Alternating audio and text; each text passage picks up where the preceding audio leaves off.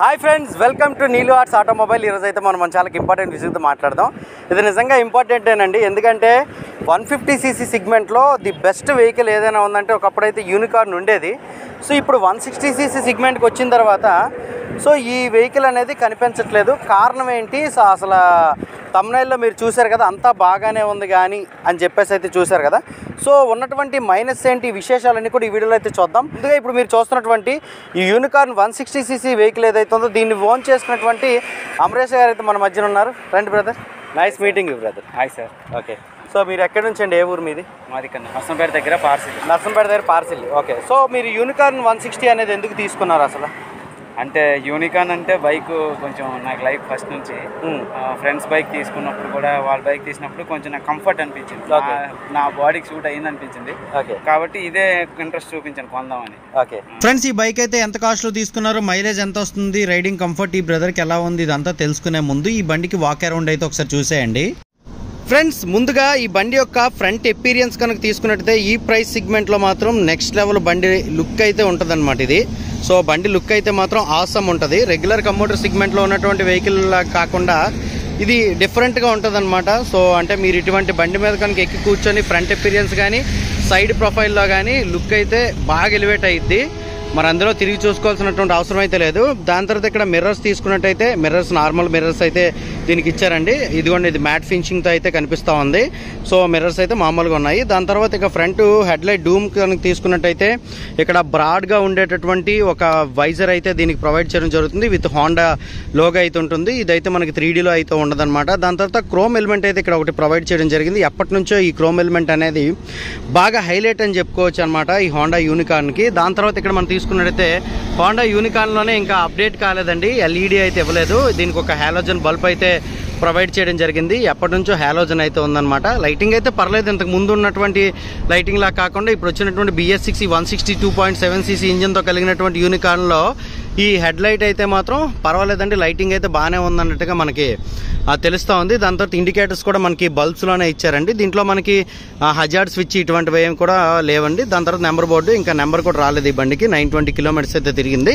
దాని తర్వాత ఫైబర్ ప్లాస్టిక్తో కూడినటువంటి ఫ్రంట్ మడ్ గార్డ్ అయితే ఇవ్వడం జరిగింది. అండ్ ఇంకోటి ఈ బండి అయితే మనకి మెటాలిక్ బ్లాక్ కలర్లో అయితే వస్తుందన్నమాట. సో మెటాలిక్ అయితే మనకు కనిపిస్తుంటుంది. ప్లెయిన్ బ్లాక్ అయితే కాదు. ఇక్కడ మీరు ఫ్రంట్ మడ్ గార్డ్ మీద చూసుకున్నట్టయితే మెటాలిక్ ఫినిషింగ్ అయితే మీకు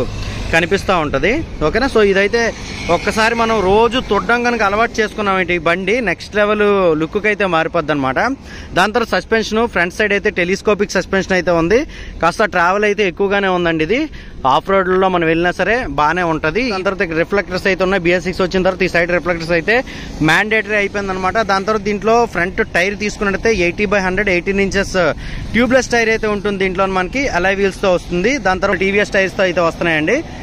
సో ఎంఆర్ఎఫ్ టైర్ అండి ఇది. ఈ టైర్ లైఫ్ అయితే మాత్రం ఎక్కువగా వస్తుంది ఈ బండికి యూనికార్న్ బండికి. ఎందుకంటే మా ఫ్రెండ్ ఒక ఆయన ఫార్టీ ఫైవ్ థౌసండ్ వరకు రెండు ఫ్రంట్ బ్యాక్ రెండు టైర్లు కూడా మార్చడం అయితే జరగలేదు.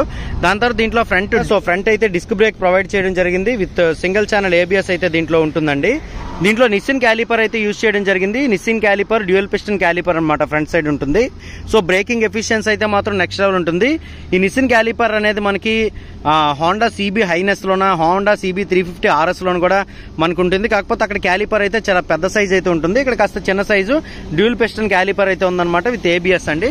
సో బ్రేకింగ్ ఎఫిషియన్సీ అయితే మాత్రం చాలా బాగుంటుంది ఈ బండికి. ఇక ఫ్రంట్ నుంచి సైడ్కి వచ్చినట్టయితే ఇక్కడ చూసారు కదా ఇంజిన్. ఇది one sixty two point seven CC ఇంజిన్తో అయితే వస్తుందండి. Twelve point nine one PS power అయితే జనరేట్ చేస్తుంది. ఫోర్టీన్ ఎన్ఎం టార్క్ అయితే జనరేట్ చేస్తుందండి. పవర్ టార్కుల విషయంలో దీని పర్ఫార్మెన్స్ ఎలా ఉందనేది నెక్స్ట్ రైడ్ రివ్యూలో అయితే చూడండి. ఇంట్లో ఏంటంటే ఆయిల్ కూల్ సిస్టమ్ అయితే లేదు. ఎయిర్ ఫిన్స్ తోనే ఎయిర్ కూల్ సిస్టమ్ అయితే ఉందన్నమాట. దాని తర్వాత ఇక్కడ చూసారు కదా ఇక్కడ కూడా మనకి జస్ట్ ఎయిర్ వచ్చి ఇక్కడ స్టక్ అయ్యేటటువంటి పరిస్థితిలో ఇక్కడ ఒక డిజైన్ అయితే ఇవ్వడం జరిగింది ఇంజిన్కి. ఇంతకు ముందు ఉండేటటువంటి యూనికార్న్కి ఉన్నటువంటి ఇంజిన్ ఈ ఇంజిన్ డిఫరెంట్ అండి. అదైతే మనకి వన్ ఫార్టీ నైన్ సీసీతో వస్తుంది. ఇదైతే one sixty two point seven CC ఇంజన్తో అయితే వస్తుందన్నమాట. దాని తర్వాత దీంట్లో మనకి ఎలక్ట్రానిక్ ఫ్యూల్ ఇంజెక్షన్ సిస్టమ్ అయితే ఉంది. ప్రోగ్రామ్డ్ ఫ్యూల్ ఇంజెక్షన్ అనమాట ఇది. ఇటువంటి టఫ్ టెరెన్స్లో మనం వెళ్ళినా సరే ఎక్స్ట్రీమ్ కోల్డ్ కండిషన్స్లో వెళ్ళినా సరే బండి అయితే చక్కగా రన్ అవుతుంది. దాని తర్వాత ఇక్కడ ఎగ్జాస్ట్ తీసుకుంటే దీంట్లోకి అథ్లెటిక్ కన్వర్టర్ అయితే ఇక్కడ ఇక్కడ ప్రొవైడ్ చేయడం జరిగింది. దాని తర్వాత ఆక్సిజన్ సెన్సార్ అయితే ఇక్కడ ప్రొవైడ్ చేయడం జరిగింది. దాని తర్వాత దీంట్లో మనకి కిక్ స్టార్ట్ కూడా ప్రొవైడ్ చేశారండి. So BS six twenty twenty two variant అయినటువంటి ఈ ఫ్యూల్ ఇంజక్షన్తో రన్ అయినటువంటి యూనికార్న్లో మనకి కిక్ స్టార్ట్ మరియు సెల్ఫ్ స్టార్ట్ రెండు కూడా ప్రొవైడ్ చేయడం అయితే జరిగింది. ఇది మంచి ఆప్షన్ అని చెప్పుకోవచ్చు. ఇక్కడ హెచ్ఈటి అని ఉంది కదండి. హోండా ఎకో టెక్నాలజీ అంటే పూర్తి స్థాయిలో కంబషన్ జరిగి పూర్తి స్థాయిలో ఎనర్జీ రిలీజ్ అయ్యి పూర్తి స్థాయి మైలేజ్ అయితే ఇస్తుందని అర్థం. క్రాష్ గార్డ్ అయితే ఎక్స్ట్రా యాక్సరీస్లో వస్తుందండి. సో బ్యాక్ సైడ్ అయితే మనకి మోనోసాక్ సస్పెన్షన్ అయితే ప్రొవైడ్ చేయడం జరిగింది. ఇక్కడ మోనో సస్పెన్షన్ అని చెప్పేసి అయితే రాస్తుంది కదా. మోనోసాక్ సస్పెన్షన్ అడ్జస్టబుల్ అయితే వస్తుందండి. సస్పెన్షన్ అయితే మాత్రం చాలా బాగుంటుంది ఈ బండికి. ఇక్కడ ఎగ్జాస్ట్ తీసుకుంటే దీనిపైన ఉన్నటువంటి కవర్ అయితే క్రోమ్లో లేదండి. జస్ట్ మ్యాట్ ఫినిషింగ్తో కూడినటువంటి ఒక మెటల్ కవర్ అయితే దీనికి ఇవ్వడం జరిగింది. ఎగ్జాస్ట్ నోట్ అయితే ఒకసారి విందాం.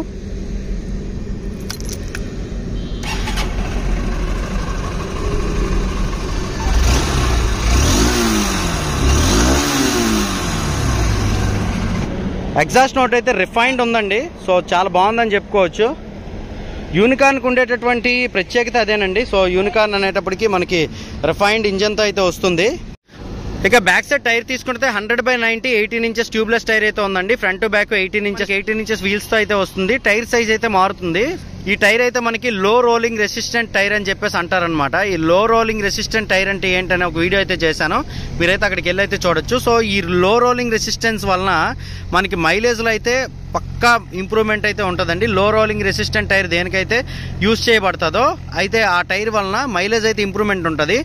నార్మల్ వైట్ టైర్లు ఏవైతే ఉంటాయో వాటికి ఉన్నంత రోడ్ గ్రిప్ అయితే దీనికి ఉండదు కానీ మైలేజ్ విషయంలో అయితే మాత్రం నెక్స్ట్ లెవెల్ ఇది రెగ్యులర్ కంప్యూటర్ సెగ్మెంట్లో యూస్ చేసుకుంటారు కాబట్టి ఈ దీనికి ఈ టైర్ అయితే సరిపోద్ది అనేది అయితే నా ఫీలింగ్ అండ్ బ్యాక్ సైడ్ అయితే మనకి డిస్క్ బ్రేక్ అయితే లేదండి. యూనికార్న్లో మనకు ఉన్నటువంటి ఒకే వేరియంట్ అనమాట front disc with single channel ABS అయితే ఉంటుంది. బ్యాక్ సైడ్ అయితే మనకి డిస్క్ బ్రేక్ అయితే లేదు. డ్రమ్ బ్రేక్ అయితే ప్రొవైడ్ చేయడం జరిగింది. మనకి యూనికార్న్ అనేటప్పటికి ఇక్కడ సిబి యూనికార్న్ అని చెప్పేసి రాసుండేది కదా? అంటే సిటీ బైక్ యూనికార్న్ అని చెప్పేసి అయితే రాసుండేది.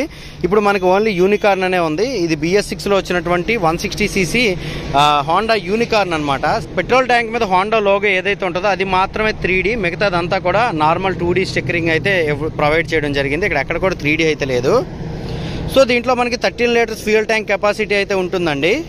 ఇక బ్యాక్ సైడ్ టైల్ లైట్ కూడా మనకి హాలోజన్ బల్బ్లోనే ఇవ్వడం జరిగిందండి. ఇండికేటర్స్ కూడా హాలోజన్లోనే ఇవ్వడం జరిగింది. ఇక్కడైతే నెంబర్ ప్లేట్ వస్తుంది. ఇక back side female foot rest ఉంటుంది పిలియన్ ఫుట్ రెస్ట్ ఉంటుంది. శారీ గార్డ్ అయితే ప్రొవైడ్ చేశారు. దాని తర్వాత మనకి గేర్ కేస్ ఏదైతే ఉందో చైన్ కేసు ఇదైతే మనకి క్లోజ్ చైన్గా వస్తుంది. చైన్ కేస్ అయితే ప్లాస్టిక్ వస్తుందండి. కాబట్టి ఇది తుప్పు పట్టేటటువంటి ఛాన్సెస్ అయితే తక్కువ. ఫైబర్ ప్లాస్టిక్ కాబట్టి. సో ఫ్రంట్ చైన్స్ పాకెట్ తాలూకా ఈ కేస్ కూడా ఇది కూడా ప్లాస్టికేనండి. ఇక్కడైతే మనకి మెటల్ అయితే ప్రొవైడ్ చేయడం జరగలేదు. దాని తర్వాత దీంట్లో మనకి సైడ్ స్టాండ్ ప్రొవైడ్ చేయడం జరిగింది. అలాగే సెంటర్ స్టాండ్ కూడా ప్రొవైడ్ చేయడం అయితే జరిగిందండి. దాని తర్వాత ఇదిగోండి ఇంజిన్ కింద అయితే ఒక మ్యాట్ అయితే వేశారు కదా. అలాంటి మ్యాట్ అయితే వేయకూడదు అనమాట ఇంజిన్కి అయితే గాలి ఫ్లో ఉండదు. కాబట్టి ఇదిగోండి ఇక్కడ ఈ మ్యాట్ ఏదైతే ఉందో ఇది సరిపోతుంది. ఈ మ్యాట్ అయితే వేయకూడదు. ఎందుకు ఇంజిన్కి అయితే గాలి తగలదు. దాని తర్వాత ఇది ఎక్కువ గ్రౌండ్ క్లియరెన్స్ అయితే కలిగి ఉంటుంది.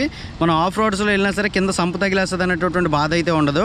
దాని తర్వాత ఇక్కడ మనకి side stand engine cut off sensor అయితే ప్రొవైడ్ చేయడం జరిగిందనమాట ఇదిగోండి side stand engine cut off sensor అయితే ప్రొవైడ్ చేయడం జరిగింది. మనం గేర్లో ఉండేటప్పుడు బండి సెల్ఫ్ చేసామనేసి అంటే అవ్వదు. సో ఇది మంచి సేఫ్టీ ఫీచర్ అని అయితే చెప్పుకోవచ్చు. దాని తర్వాత ఫాల్డబుల్ ఫుట్ ప్యాడ్స్ అయితే దీంట్లో ఇవ్వడం జరిగింది. రైడర్కి అలాగే పిలియన్కి కూడా. దాని తర్వాత సింగిల్ గేర్ లేవర్ అయితే ప్రొవైడ్ చేయడం జరిగిందండి దీంట్లోన. ఓకేనా? సో దీంట్లో మనకి ఫైవ్ స్పీడ్ మాన్యువల్ ట్రాన్స్మిషన్ అయితే ఉంటుంది. One gear down four gear up అనమాట ఇక ఈ బండి యొక్క హ్యాండిల్ బార్ కన్సోల్ తీసుకున్నట్టయితే క్లచ్. క్లచ్ అయితే చాలా సాఫ్ట్ ఉంది. దీంట్లో స్లిప్పర్ క్లచ్ గట్ అయితే లేదు. దాని తర్వాత ఇది పాజింగ్ స్విచ్ అండి. హై బీమ్లో బీమ్ స్విచ్ అయితే ఉంటుంది. టర్న్ ఇండికేటర్ స్విచ్ అయితే ఉంటుంది. హార్న్ ఉంటుంది. రైట్ సైడ్ తీసుకుంటే ఇంజిన్ కిల్ స్విచ్ అయితే ఉంటుందండి. సో ఈ స్విచ్ గేర్ అయితే కాస్త బిల్ట్ క్వాలిటీ తక్కువనే అనిపిస్తుంది నాకైతే. దాని తర్వాత సెల్ఫ్ స్టార్ట్ అయితే ప్రొవైడ్ చేయడం జరిగింది.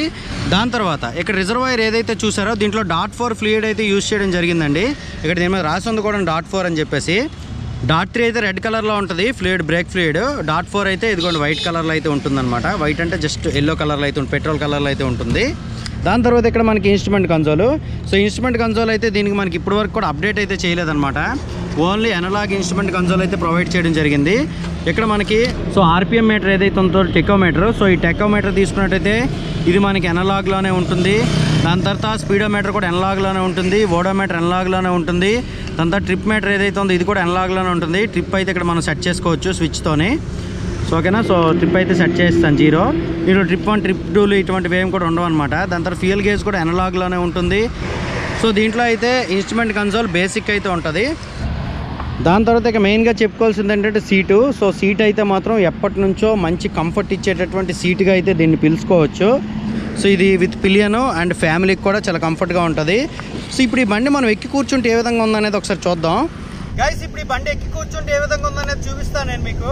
సో ఫైవ్ నైన్ హైట్ ఉన్నటువంటి పర్సన్ ఈ బండి మీద కూర్చుంటే ఏ విధమైనటువంటి అనేది మీరే చెప్పండి. సో దీన్ని అయితే ఒక రైడ్ అయితే చేద్దాం.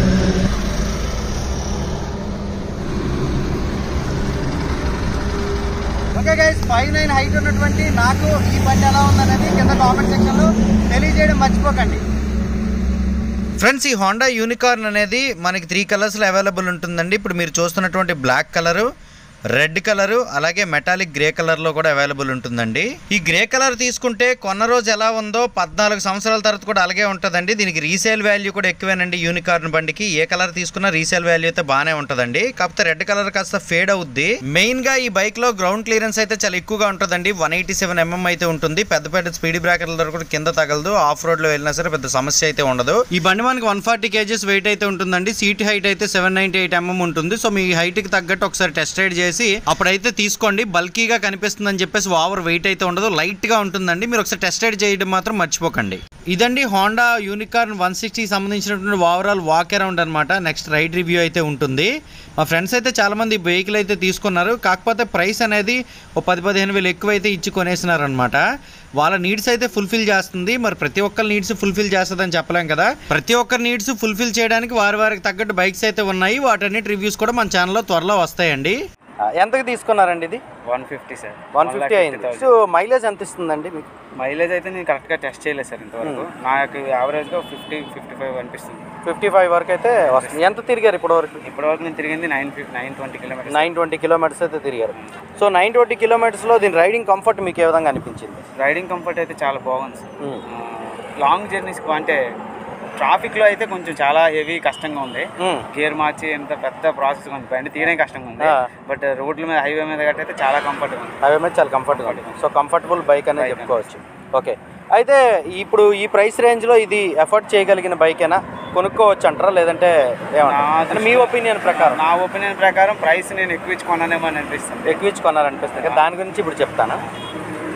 గైస్ విన్నారుగా? సో ఇది వన్ సిక్స్టీ సీసీ గైస్ ఇప్పుడైతే మనకి ఇది వన్ సిక్స్టీ సీసీ సెగ్మెంట్లో డిమాండ్ అయితే ఎక్కువగా ఉండి సప్లై తక్కువగా ఉన్నటువంటి వెహికల్ ఏదైనా ఉంది వన్ సిక్స్టీ సీసీ సెగ్మెంట్లో అంటే అది హోండా యూనికార్న్ అండి అండ్ ఇంకోటి హోండా యూనికార్న్ అనేది ఆన్ రోడ్ ప్రైస్ విషయానికి వచ్చేటప్పటికి ఒక్కొక్క దగ్గర ఒక్కొక్క రేట్ ఉంది. మరి ఐదు వేలు మూడు వేలు తేడా ఉంటే పర్వాలేదు.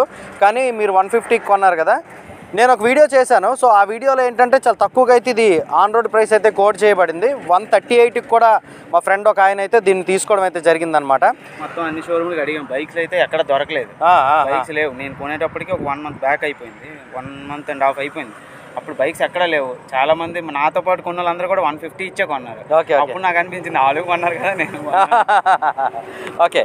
అయితే బైక్ ఎక్కువగా సప్లై లేకపోవడం వల్ల డిమాండ్ ఎక్కువైపోవడం వలన ఆ ప్రైస్ అయితే ఒక్కొక్క దగ్గర చాలా వేరియేషన్ అయితే ఉంటుందన్నమాట. కాబట్టి దయచేసి దీన్ని కంపెనీ వారు గమనించాలి. అలాగే షోరూమ్స్ వారు కూడా గమనించి కాస్త రీజనబుల్గా అందరూ ఒక మాట్లాడుకొని అందరూ ఒక రేట్కి ఇస్తే బాగుంటుందని అయితే మా opinion okay guys Unicorn one sixty సీసీకి సంబంధించినటువంటి పూర్తి డీటెయిల్స్ అండ్ స్పెసిఫికేషన్స్ అయితే ఈ వీడియోలో చూశారు కదా.